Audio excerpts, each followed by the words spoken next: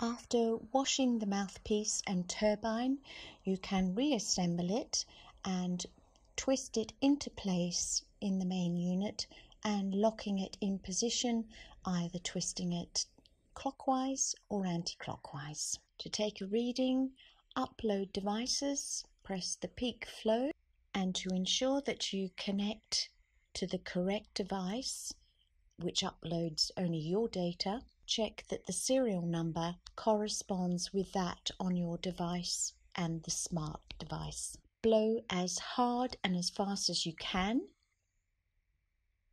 for each three readings and it takes the best reading as your result.